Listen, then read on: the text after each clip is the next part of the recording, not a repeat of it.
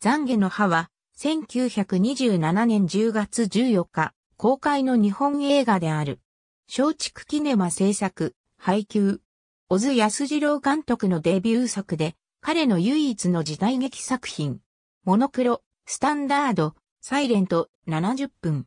大久保忠元の監督助手を務めた小津が、1927年8月に監督任命の事例を受け、蒲田時代劇部で作ったのが本作である。小津は撮影中に予備招集がかかったため、ファーストシーンは斎藤虎次郎が撮影した。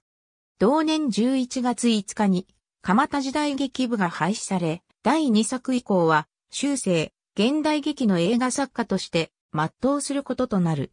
現在、脚本、ネガ原版、上映用プリントのいずれも散逸しており、鑑賞することの不可能な作品となっている。木更津の佐吉は泥棒である。弟の石松の家を訪れるが、牢屋から出たばかりの弟は、佐吉には更生してもらいたいと願っている。佐吉の相棒は、佐吉を犯罪人生から切り離すために、かんざし泥棒の濡れ衣を弟に着せたのだった。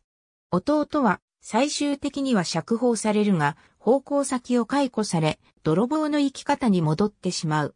佐吉は最後の大立ち回りの末に山城や正左衛門に殺される。ありがとうございます。